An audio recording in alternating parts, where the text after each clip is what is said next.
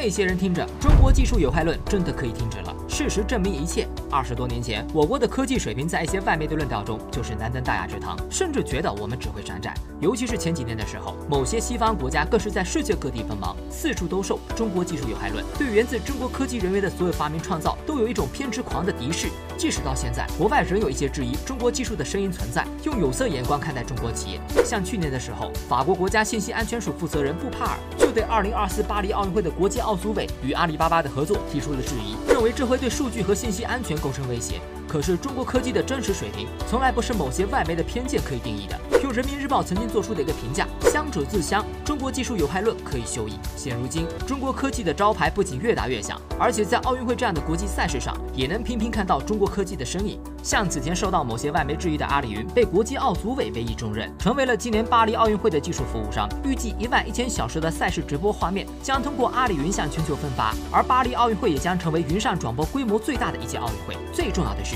全球唯一，那些所谓的科技强国美国、日本等国家都被中国的企业阿里云给打败了。为什么国际奥组委选择了阿里云？说到底，在这种重大的场合，技术够硬、够扎实才行。而阿里云不仅是亚太第一的云厂商，这些年带领中国云计算与微软、亚马逊的国外科技巨头的比拼中，拿到了出色的成绩。而且，阿里云还经受住了多届奥运会的技术考验。要知道，二零一七年，阿里云在与亚马逊的云厂商的竞标中成功胜出后，就被国际奥委会选为全球奥运唯一云服务商。此后，阿里云又与奥林匹克广播服务公司共同打造了奥运转播云，并于二零二一年的东京奥运会上首次投入使用。到之后的北京冬奥、杭州亚运会，背后都有阿里云的技术支持。